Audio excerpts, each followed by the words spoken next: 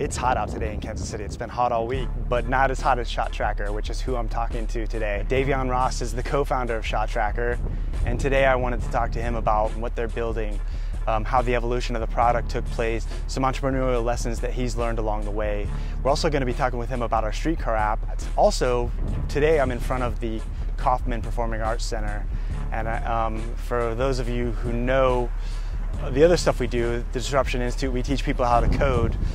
But uh, we also do a world-class conference. It's called Compute Midwest.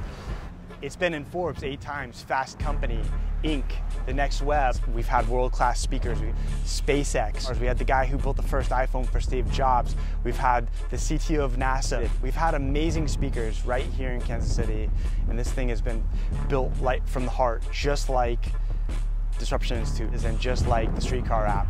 And everything we do is to make an impact here in Kansas City.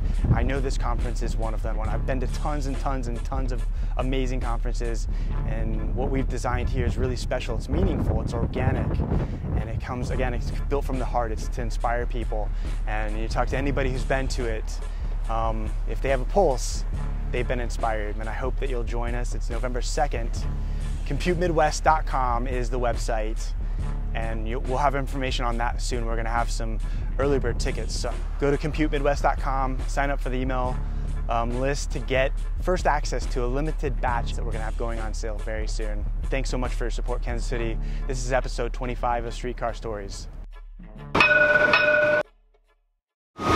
Shot Tracker is a wearable technology to track your basketball statistics and provides real-time statistics to basketball players and coaches.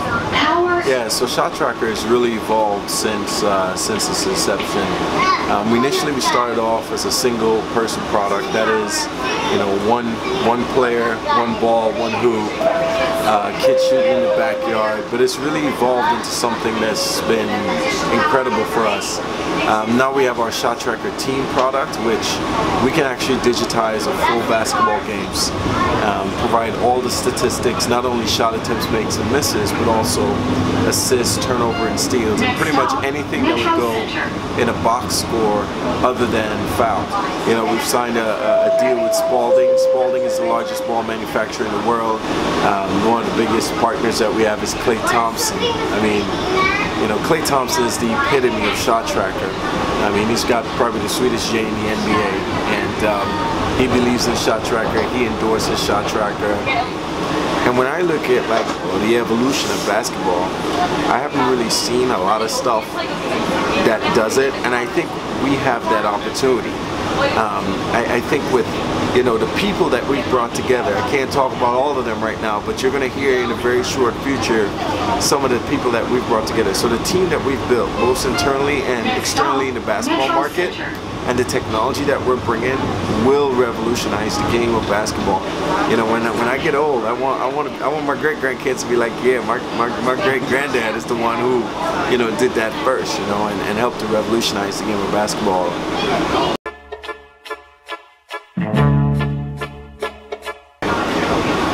You know, the advice I'd give to people who want to build something is um, build it, right? I always say, um, you know, you miss 100% of the shots that you don't take. And I think that there's a lot of people who have ideas, but they're either scared to jump on the bandwagon and make it happen just because of the risk of what can happen and the risk of failure. Um, the second thing I would say is like failure, we need to change our definition of failure. Failure in my mind is learning.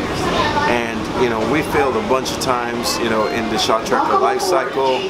And um, every time we failed, we were that much smarter for the next decision that we had to make. Worship, you have to know that it's an emotional roller coaster and you got to get prepared for the ride, you know. What I've learned is that nothing is ever as good or as bad as the first time you heard it, you know. So the first time there's that emotional, like, oh my goodness, you know, it's great or it's bad. But then when you think about it, it's, it's never ever as good. So I try to be really even keeled, um, you know, celebrate the wins. And my mentality is more about problem solving. I don't think that I always, like, I live by there's always a way. And where there's a will, there's a way. I don't care what it is, there's always a way. Um, the streetcar app. I was really impressed. I thought it was awesome. I love what the, the DI is doing, the Disruption Institute. Um, I love the opportunity that they provide to individuals who are trying to get their technology skills up. I think it's a, it's a really powerful app. It's a very handy tool, which is evident from the amount of downloads. It seems it's well built. Um, it's simple to the point. I mean, I think there's a lot of great things about the app, and I think that um, you know, as as the evolution, I'm excited to see the evolution of the action, and I think I, I love the the intuition, right, and I like the initiative because you know that's that's I think that's that's key for me. You know, knowing that there was an app, seeing an opportunity. That's what entrepreneurs do, and it shows that DI is, is continuing to be entrepreneurs, be entrepreneurial and innovate, and not only in the classroom but outside the classroom in more practical senses.